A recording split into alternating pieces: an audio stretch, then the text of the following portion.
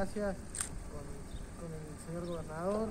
porque cuando hablamos de estas obras transformadoras ya hace unos años, no solo en la planta potabilizadora, sino en la, planta de tratamiento de líquidos locales, en los grandes gasoductos troncales, en la subestación que estuvimos el otro día, es lo que genera progreso y desarrollo en nuestra ciudad. Eh, y esto es una prueba, una muestra de ello. Eh, en el 2014, si recuerdan, tuvimos que desde el municipio hacer un decreto para prohibir cualquier tipo de conexión, cualquier tipo de habilitación, eh, porque no había el caudal suficiente para, poder hacerlo. Eh, hoy, gracias a estos gasoductos troncales que recién el gobernador contaba como una de las obras más trascendentales en la historia de nuestra provincia, eh, se puede hacer realidad esto, que esta habilitación que nos va a traer mucho progreso, mucho desarrollo y que sobre todas las cosas va a generar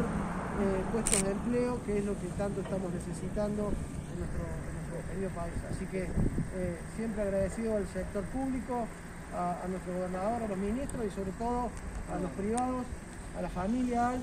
que generan muchísimas fuentes de empleo, que, que invierten permanentemente e eligen Altagracia y sus alrededores, así que eh, desde el municipio y desde, desde Altagracia muchísimas gracias.